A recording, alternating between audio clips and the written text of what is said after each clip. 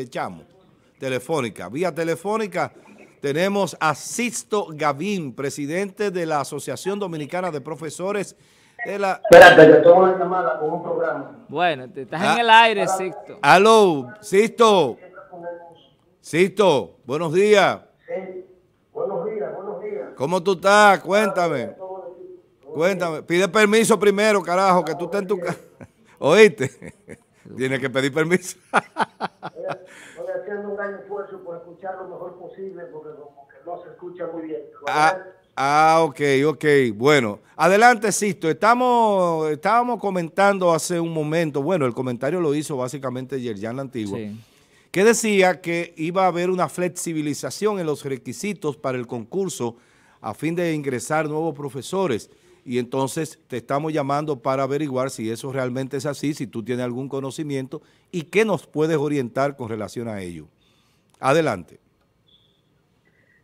Bueno, el concurso docente que ha sido convocado con el propósito de, suplir las unas 15 mil vacantes Wow. que hacen falta en distintos niveles y modalidades Santísimo. en el sistema preuniversitario público del país, pues eh, realmente hemos hecho un gran esfuerzo, incluso nosotros somos miembros de la Comisión Nacional de Concurso, se ha echado un buen pleito, se ha eh, estado en, eh, se discutió bastante para lograr una orden departamental, la 06-2021, apegada a los estándares del sistema educativo y a los estándares pedagógicos, para evitar lo que ocurrió en otros concursos, sobre todo en el 2019,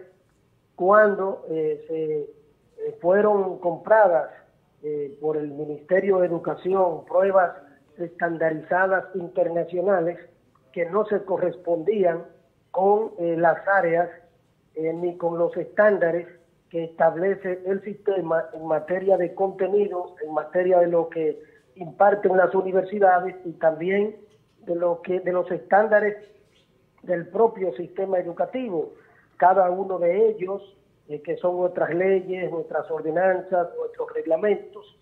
Entonces, el concurso ahora se realizará, debe realizarse apegado a esa orden departamental que hemos logrado, que es la 06-2021, eh, que eh, debe, eh, eh, la parte de la aplicación de las pruebas deben realizarse de acuerdo a lo que establece la orden y de acuerdo a los estándares. En la otra ocasión pasó que después de haber acordado los estándares en la orden, entonces los mismos eh, fueron cambiados y nosotros en el medio de las pruebas y nosotros esperamos que, y hemos estado haciendo ese llamado, que las autoridades realmente mantengan ese criterio, esa disposición que ya ha sido acordada eh, para la orden, Eh, en la orden para, el- para las pruebas del concurso. Sixto, Habrá pruebas de habilidades cognitivas y pruebas disciplinares y pedagógicas. Sixto, pero o sea, eh, se va a evaluar al docente a cada área de acuerdo al nivel, a, a su, a su área de conocimiento en términos disciplinar y pedagógico, así como también las, las pruebas de habilidades cognitivas que tienen que ver con la parte socioemocional, con la parte psicoafectiva, con la parte de la conducta y habrá también una, se realizará la entrevista que eh, será eh, ya la última fase en términos de las pruebas. El concurso ahora será por etapas debido a la pandemia, por ejemplo, eh, por etapas y niveles. Significa que, por ejemplo, bueno, los profesores de, básica, el nivel básico, el nivel primario, el nivel secundario, directores, y se habilitó, se habilitó una cuarta etapa que está relacionada con los politécnicos para importantes áreas eh, técnicas en ese sentido y también para eh, politécnicos de arte. Y entonces esa cuarta etapa aún no ha sido definida en detalles debido a lo que está, debido a que una, sería una cuarta etapa y hay que ver algunos detalles todavía. La inscripción es electrónica, eh, la gente se inscribe, los postulantes se inscriben en la plataforma. Eh, al pasado martes, puedo darle el dato a ustedes, cuando se reunió la Comisión Nacional de Concursos, iban inscritos 72 mil postulantes. Para que entendamos la cantidad de profesionales de la, de las distintas, de, de educación que tenemos en el país por entrar eh, al sistema y 72.000. quienes eh, pasen el concurso, luego de llenadas las plazas, claro que quedan en un registro elegible que durante un año, como dice el estatuto del docente y la ley 6697, entonces estarán disponibles para continuar llenando las plazas que se presenten a partir de ahí. Sixto, Los- eh, es un concurso No donde no se, para los profesionales de la educación, no se, no se estableció lo de, ahora no, no fue incluida la llamada habilitación docente, para profesionales de otras áreas, excepto en la cuarta etapa que ya les decía, cuando se vean los detalles respecto a los politécnicos, se definirían cuáles áreas eh, contribuirían asistiendo a la evaluación para resolver politécnicos de arte y politécnicos eh, en sentido general, de áreas técnicas. Sixto, la gente se puede inscribir hasta el miércoles 28 de este mes, o sea, hasta pasado mañana. Ok. bien. Y eh, quien eh, no se, se estuvo, mucha gente estuvo planteando lo- la problemática de las universidades y, la, y la, la- la problemática de no tener la legalización del título de muchos eh, ya eh, graduados. Entonces eh, se estableció que aquel postulante que cuente con el recibo del MESI, del MESIDE, que ya hizo esa solicitud formal del Ministerio de Educación Superior, Ciencia y Tecnología, entonces puede inscribirse para participar del concurso, pero no con certificaciones de término de las universidades, porque incluso eh, eso generó en otros concursos situaciones no muy agradables a partir de eh, cosas que ocurrieron que se ha querido evitar en este proceso. De manera que también lo de, la- entonces la gente ha estado eh, inscribiéndose y lo de, eh, el- el- esperamos que realmente eh, el concurso, las evaluaciones ya propiamente dichas que se van a definir en una próxima reunión, el cronograma de la primera etapa, entonces sean desarrolladas con el espíritu de la orden departamental 06-2021 que ya hemos logrado.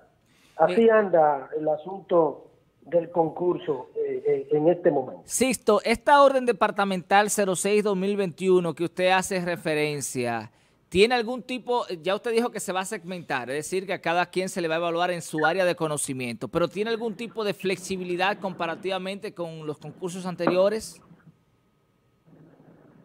Eh, Yayan, otra, otra vez, por favor, otra vez. Le- Les repito la pregunta. Eh, este concurso, ¿verdad? Que se va a avalar por la orden 06-2021 que usted hace referencia, ¿tiene algún tipo de flexibilidad en comparación con otros concursos? Aló, Sisto, ¿lo está escuchando?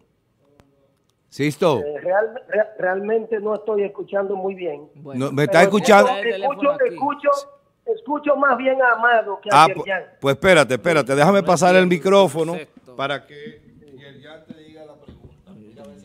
Vamos a- vamos, me voy a tener que parar eh, el micrófono. Eh, preguntarle a Sí. Sisto, Yerjan, sí, Habla, Yerjan, habla como un hombre, Yerjan. me, escuchas,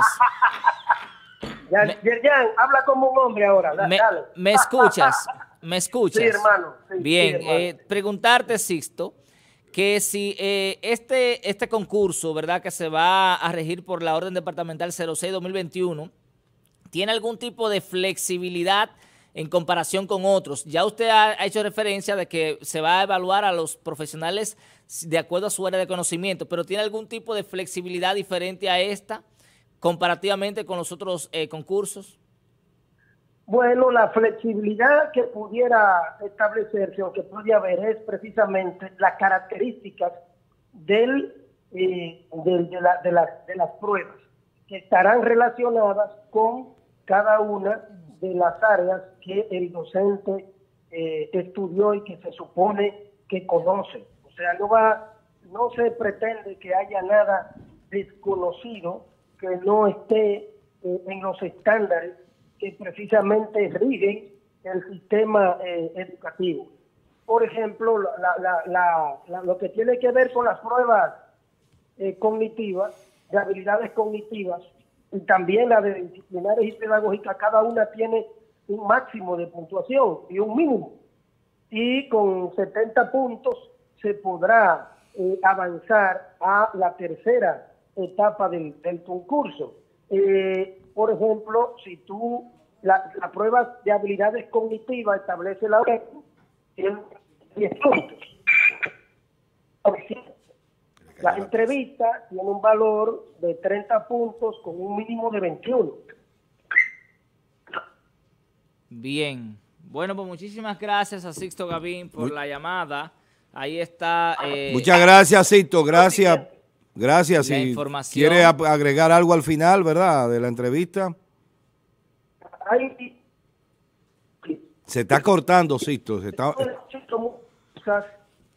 Hay dirigentes políticos, hay eh, gente hablando sobre el discurso, gente, dirigentes políticos eso no es nuevo, me pone muy nervioso a los plantas. Bueno, se, nos cayó, la llamada. se cayó la llamada. Eh, atención a producción, pudiéramos esta, esta semana generar una entrevista con Sisto Gavín, ¿verdad? Para ya hablar más, eh, ampliado más este tema.